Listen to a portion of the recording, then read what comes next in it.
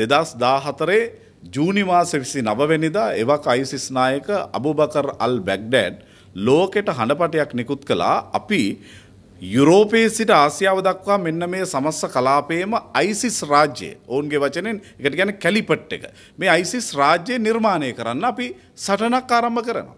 ඒ සටන වෙනුවෙන් එවක් අයිසිස් නායකයා ලෝකයේ ඒ අයට හිතවත් අයට ආරාධනයක් කරනවා. ඒ ආරාධනාව කොටස් දෙකයි.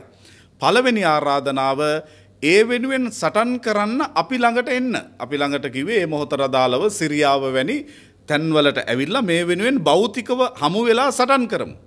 දෙවැනි යෝජනාව අයිසිස් නායකය වෙලාව කළා එන්න බැරිනං උබල ඉන්න තැන ඉඳලා වෙනුවෙන් සටන් කර සටන් කරපල්ල කියලා. මේ අනුව තමයි ලෝකය පුරා යුරෝපයේ සිට මේ දකුණු ආසියානු කලාපයේ දක්වාම රාජ්‍යන් රැසක ඒ ත්‍රස්වාදී ප්‍රහාරමාලාව සිද්ධ වන්නේ. ලෝකේ වෙන කිසි රටක අයිසිස් ත්‍රස්වාදීන්ගේ ප්‍රහාරයක් පිළිබඳව මේ විදිහේ විකෘති දේශපාලන සංවාදයක් අපි දැකලා නැහැ.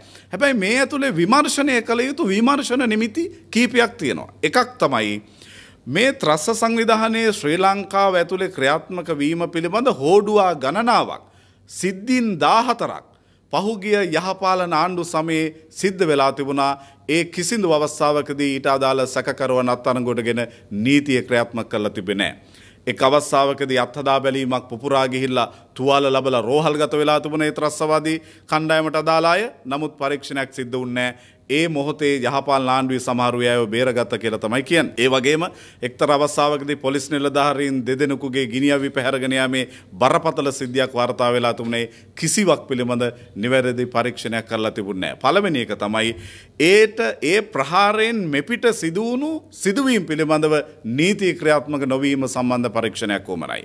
ඒ වගේම බරපතලයි එවැනි සාහසික ප්‍රහාරයක් සිදුවෙන බවට බුද්ධ්‍යංශ වාර්තා ලැබී තිබියදී එය වලක්වා ගැනීමට කටයුතු නොකිරීම. ඒක දේශපාලන වශයෙන් එවක යහපාලන ආණ්ඩුවට ඊටත් වඩා ඒ මොහොතේ බුද්ධ්‍යංශ භාරව කටයුතු කළ ආරක්ෂාව භාරව කටයුතු කළ නිලධාරී.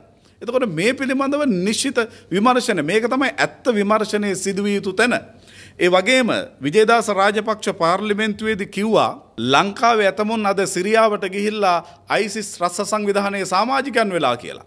එහෙම එකක් වෙලා නෑ කියලා එදා විජේදාසට හොඳටම කෑගහලා බැනපු මුජිබ රහුමාන්ගෙන් ප්‍රශ්න කළ යුතුයි ඇයි එවන්නක් නැති බව ඔබ කිව්ව කියලා. ඒ වගේම ජාතික ජනබලවේගයට වගකීමක් තියෙනවා. එකම ගෙදර දෙන්නෙක් පුපුරවාගෙන මැරිච්ච ගෙදර තාත්තව ජාතික ලැයිස්සුවට දාගත්ත එක. ජාතික ජනබලවේගේ මේ රටේ ඕන මිනිහගේ ෆයිල් එකක් Taman ළඟ තියාගෙන ඉන්න දේශපාලන ව්‍යාපාරයක්. ඒ අයට බැරි වුණාද ඊබ්‍රාහිම්ගේ ෆයිල් එක හොයාගන්න. මෙන්න හොයන්න ඕන තැන් ටික. එයින් මෙපිට තියෙන්නේ මගේ හැදෑරීම අනුව මේක ගෝලී වශයෙන් ක්‍රියාත්මක වෙච්ච ත්‍රස්වාදී ප්‍රහාරමාලාවක තවත් එකක්. හැබැයි අර සිදුවීම් තුන නිරීක්ෂණය සහ විමර්ශනය කළ යුතුයි. එයින් මෙපිට සිද්ධ වෙන හැම ප්‍රකාශයක්ම හැම අදහසක්ම මම කිව්වේ ඒ මියගේ මිනිස්සුන්ගේ ආත්මයටත් කරන නින්දාවක්. සමහරු මේක ඇතුළේ ඉන්නේ තමන්ගේ හතුරෙක් පාස්කු ප්‍රහාරයේ මහාමොලකරු ලෙස නම් කළ වාර්තාවක් එළියට එනකන් කෑ ගන්නවා සමහරු. එහෙම දේශපාලන සහ යම් යම් සමාජ කණ්ඩායම් වල මැදිහත් වීමකුත් අපි මේක ඇතුලේ දකිනවා.